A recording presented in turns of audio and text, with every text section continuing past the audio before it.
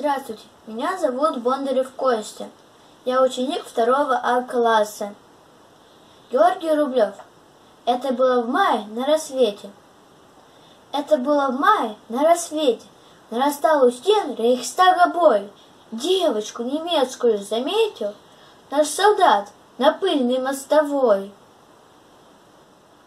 У столба, дрожа, она стояла, в голубых глазах застыл испуг — и куски свистящего металла, смерть и муки сеяли вокруг.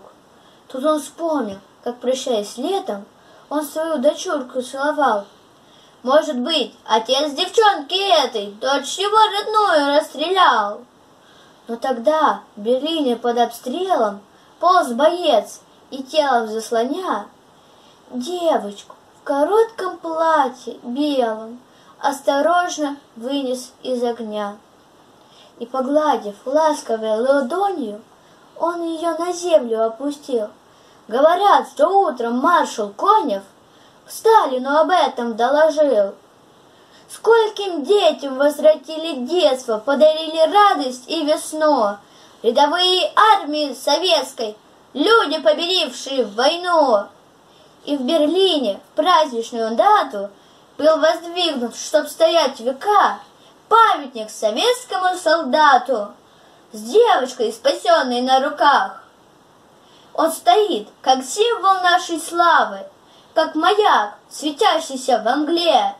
Это он, солдат моей державы, охраняет мир на всей земле. Была наша Родина богатой и счастливою, ведь выше счастья Родины нет выше ничего. Была бы наша Родина богата и счастливою, ведь выше счастья Родины нет в мире ничего.